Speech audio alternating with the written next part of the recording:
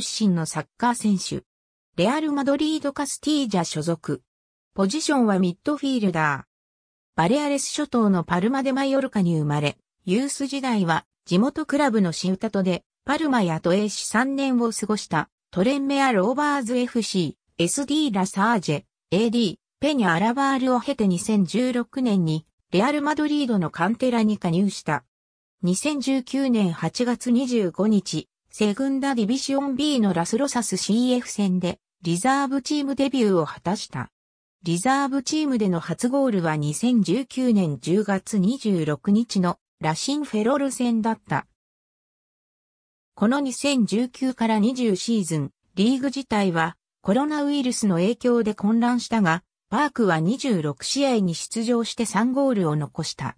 また、このシーズンの UEFA ユースリーグ制覇にも貢献した。2020年9月20日、レアル・ソシエダとのリーグ戦でトップチームデビュー。